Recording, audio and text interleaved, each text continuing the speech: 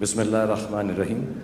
Assalamu alaikum, everybody, all the excellencies, um, all highnesses, all dignitaries, friends, uh, my colleagues, Jason, Jackie, Mr. Van Damme, uh, who's busy eating and not listening to me.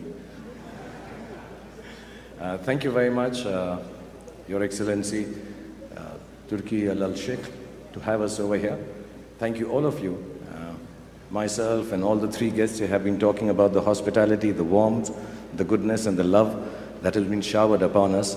And for most of us, it is our first trip here in the Kingdom of Saudi Arabia. So thank you, the Kingdom of Saudi Arabia, for giving us so much love. And inshallah, we all wait with bated breaths because cinema has opened up here in the Kingdom of Saudi Arabia. You have so many new stories to tell. And we as the world look forward to being of help in any which way that we can come forward in terms of technology, in terms of uh, working out all the stuff that you need for filmmaking and general entertainment. I think functions like this are very heartening, and I thank you from the bottom of my heart.